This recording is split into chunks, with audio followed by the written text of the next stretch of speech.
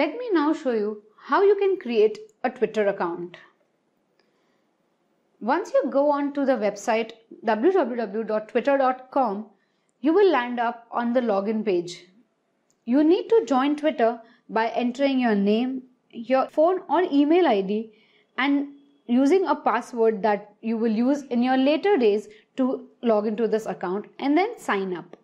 You then choose a username which you can change later but make sure that this is short and crisp because it will count the characters when anybody is replying to you.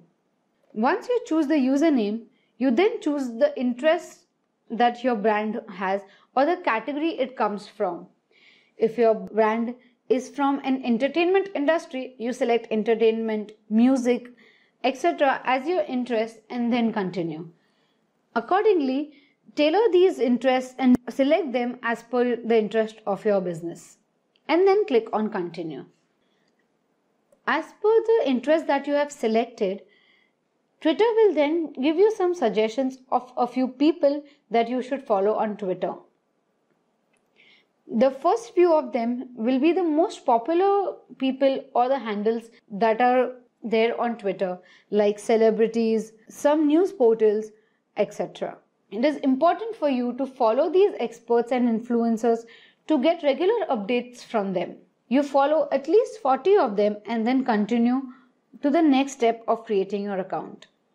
Once you do this, you are then asked to upload your profile picture. Once you've uploaded your picture, click on the continue tab and then you're there now on your Twitter account and then you can start tweeting.